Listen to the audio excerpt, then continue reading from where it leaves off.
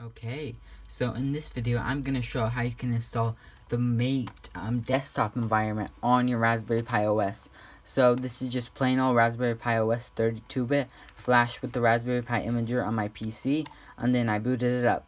Um, so as you see, I mean, it's just normal. All I did was change the background, that's all I did. Um, so to install this, what you have to do is open up a terminal. It can be opened from there, or you can press Control Alt T. They both open a terminal. And you're going to type sudo task cell, and you're going to hit enter.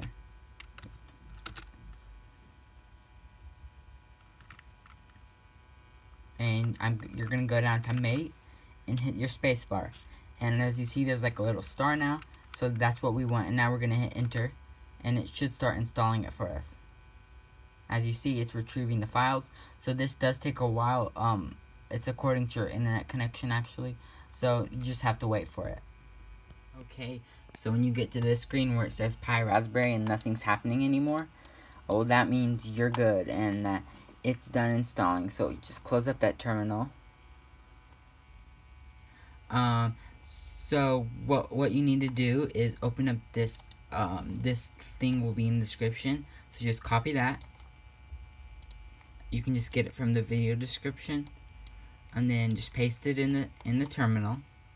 Hit enter, and uh, where oh right here it says um, mate session.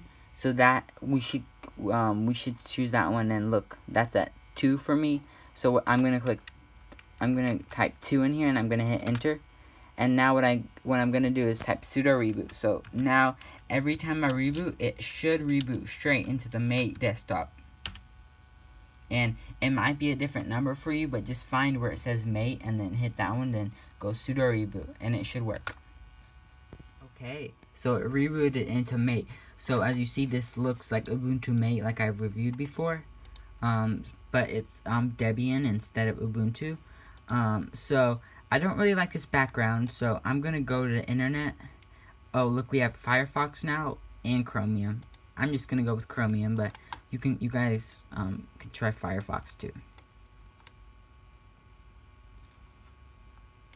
Um, so I really like the macOS wallpaper, so I'm gonna type Catalina wallpaper.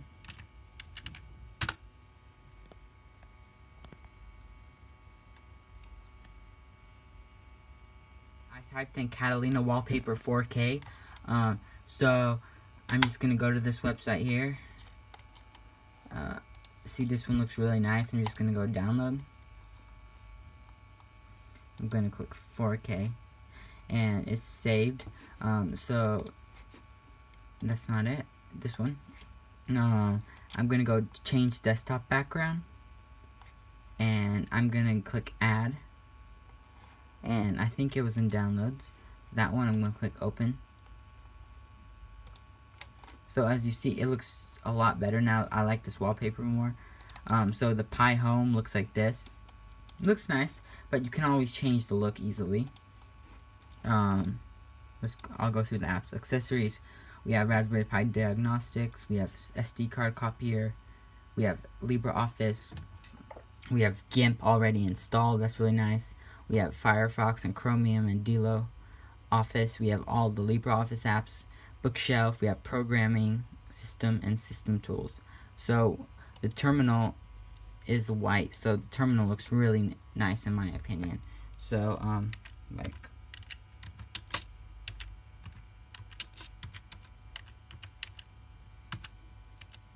so I'm just going to install NeoFetch, which if you don't know, um, it's a tool that tells you all about your um, system and stuff. So I'll show you. So to install it, is it all it is sudo apt install neofetch, and then to use it, you just type in neofetch in the terminal, and it should work.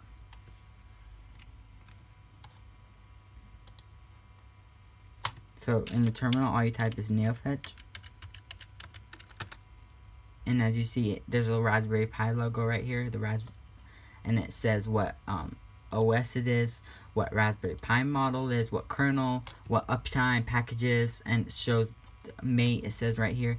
It shows everything. Um. Yeah, so um, the terminal works great. Um, this performance is amazing on here. Like, it might even be better than normal Raspberry Pi OS. I don't know, but it could be. So, I totally recommend you guys using this as an operating system. So, you can install every app you do on a um, normal Raspberry Pi OS, any software because it, it still is. All it is is the um, like distro change. That's all. So like I'm gonna install Raspberry Pi Imager.